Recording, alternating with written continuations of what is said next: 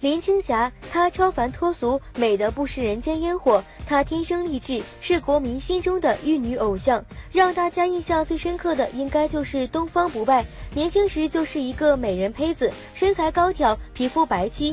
林青霞的美貌在当时可是无人能敌的。林青霞是华语影坛具有传奇色彩的演员之一，从影生涯纵贯二十世纪七十至九十年代。风格横跨文艺和武侠、女装以及反串，皆能独领风骚。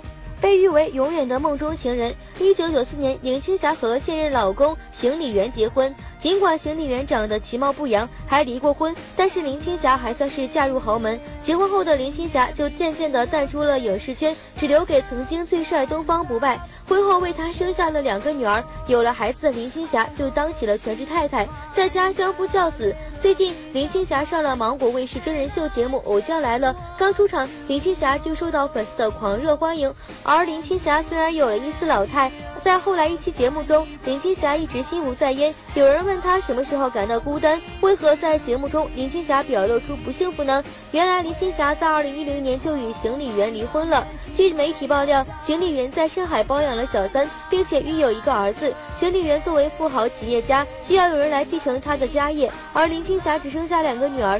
这当然不合邢李员的心意了。不过离婚后的邢李员还是赔偿了林青霞六亿多的豪宅，这些对于林青霞来说已经不算什么了。已经快六十的林青霞虽然爱情不顺心，但好在朋友很多。